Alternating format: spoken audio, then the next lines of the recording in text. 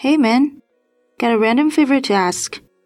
But I ordered a bunch of dog whistles for my dog sitting business, Woofy Walks Enterprises, that I operate on the weekends. Looking to build up our inventory with some really nice equipment. The problem is all the dog whistles are being delivered to the office today at 3 p.m. and it won't be there to receive them.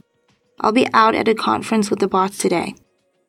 So, can you meet the DHL guy in the lobby when he makes a delivery inside for me? I'm aware I shouldn't be having personal things shipped to our office, but the delivery was actually more affordable if I had it shipped to the office. Just keep this between us, okay?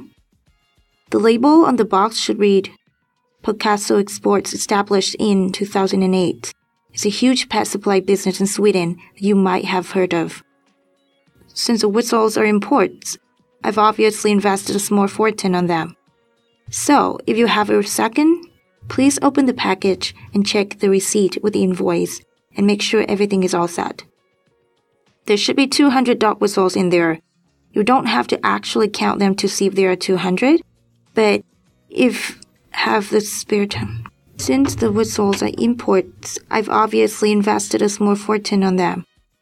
So, if you have a second, please open the package and check the receipt with the invoice and make sure everything is all set.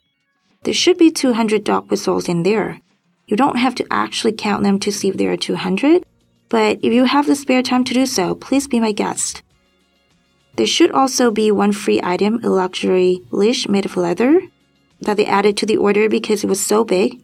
Nice of them. So open the box, and if you don't see the leash, just text me so that I can duck out of the meeting and call them to make a complaint. Thanks, man. I owe you a beer. And remember, if you want to join us at Woofy Walks and make some extra money on weekends, I guarantee I can convince my partners to bring you on board. Since I have a passion for working with pets, my strategy is to build up this side business so I can quit real estate and hopefully transition over to Woofy Walks full time by the middle of next year.